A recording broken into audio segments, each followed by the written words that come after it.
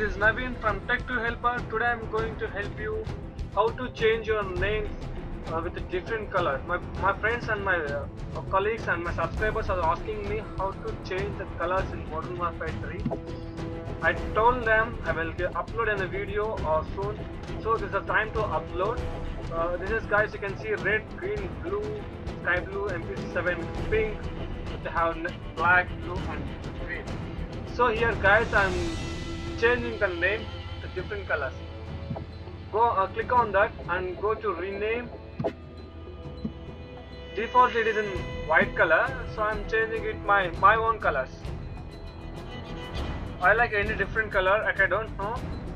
I just uppercase and I click on numerical 3 and just and again whatever the case you want again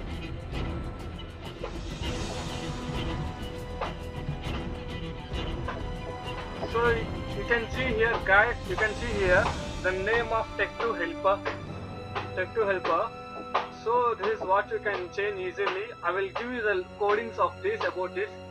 And if you guys uh, any doubts about this please don't hesitate to ask any questions. Thanks for watching me guys. Please subscribe like and comment as well as. Thanks for motivating me. Once again thanks for watching my videos. Thank you guys. Peace